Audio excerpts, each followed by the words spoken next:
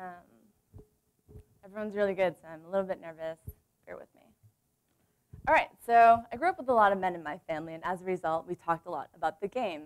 Uh, this is best described as a phenomenon that came into our lives in 2005, and which has been a family member since then, infiltrated completely.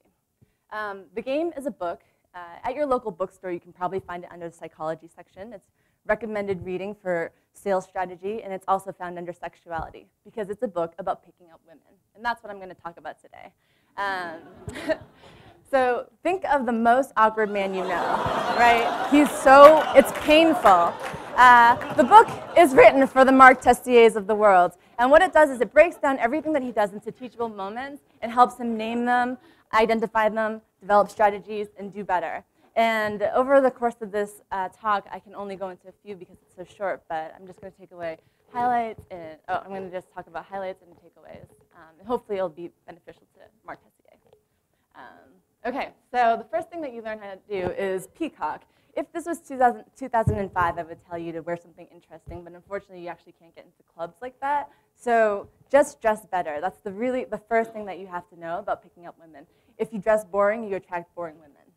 Uh, and then once you've identified the people that you want to talk to, you can open them. Um, this is not to say that you just go up and be like, hey, what's your name?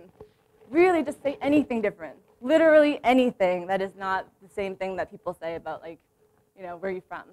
And then once you want to talk to someone or you start talking to them, you can do something like neg. You can employ this tool to, to give them a black, backhanded compliment. And this, again, this is really not to be mean and to be like, that t-shirt's ugly. You say something like, wow, you blink a lot. That's so interesting. uh, and then when you are exiting a situation, you can try this thing called the kiss close. There are men out there who literally will point to their cheeks and just say, kiss goodbye. And it works, because I've used it. It works.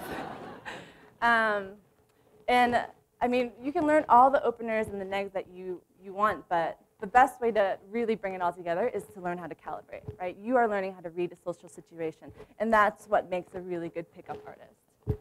Um, they can adjust to any situation. And one of the other principles that they employ is the three second rule. So the three second rule is that whatever you want to do, do it quickly, because otherwise you're going to um, lose your will or get creepy and stare too long and then chicken out. Um, another principle that you want to learn is the false time constraint. This is a tactic where you just come up to a person and you just assure them that you're not going to stay forever if they start talking to you. And that's also helpful for, helpful for recruiting. Some of you could learn from that. Um, and then the next thing that you want to learn is cat string theory. Okay, so this is pretty self-explanatory.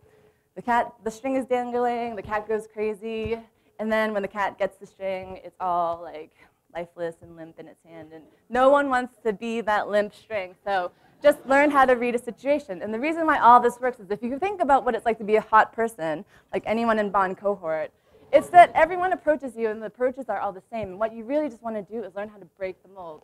Wear a fake mustache if you need to. Anything different is helpful. Um, and this is why I really like talking about the game, because I really do think that all of these principles for seduction are helpful in other facets of your life. How many interactions do you have here that are just so mundane and repetitive and, and banal? Like, you just don't really want to do that. Um, so the lessons of the game, or that it teaches you is, first and foremost, you have to be resilient, right? Anytime you're getting shut down, you just have to keep trying again and again because there are effectively um, an unlimited number of fish out there. Um, and secondly, you really want to just stop doing what everyone else is doing. Um, just stop being boring. Just do anything different. You can still be yourself, but um, try and break the cycle, break the mold of, mold of interactions out there. Um, and then third, uh, fake it until you make it. The best pickup artists are literally people who have transformed themselves into the people that they want to be. Right? They're charismatic. They're attractive to women.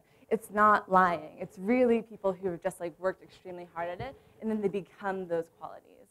Um, but that being said, obviously the game can't get out of control because it's like the superpower that you get that's new and then loses, it goes into overdrive and you can't really, you become a jerk basically, and that's why the game has a bad reputation as well. Um, and so what I want to say is that, you know, I really recommend the game. It's excellent reading. Uh, and it's, again, these principles are applicable to all facets of your life, but you do have to choose to use it for, for good instead of evil.